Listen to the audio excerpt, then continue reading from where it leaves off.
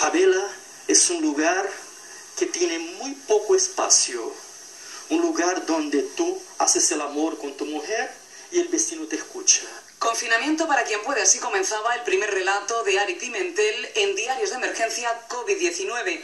Temores, incertezas, tristeza y soledad fueron tejiendo las historias de los meses más duros de la pandemia. Los primeros días y semanas son tristes, mucha angustia, de mucho estrés. La literatura llega para Ari y otros moradores de las favelas de Río en forma de terapia para poner sobre papel sentimientos y anhelos. Un registro de la pandemia sobre diferentes miradas, edades, clases sociales y géneros. Es una terapia, ¿no? Es mi modo de enfrentarme a estos tiempos difíciles. A través proyecto Literatura Comunica, los moradores van hilando relatos de su rutina durante el confinamiento social. Fueron inspirados né, no diário de Anne Frank. La idea de los diarios como explica su creadora, que hoy reside en Alemania, surge como inspiración de los diarios de Ana Frank y del escritor Lima Barreto. El objetivo era mostrar cómo diversas personas lidiaron con la cuarentena en medio de su realidad. En una favela es el espacio. La gente vive en casas muy pequeñas, viven 8, 10 personas a veces en una casa. Aqui em casa somos quatro pessoas. Aquí en casa somos cuatro personas. Estadísticamente alcanzamos la inmunidad de rebaño. Tres de nosotros tuvimos COVID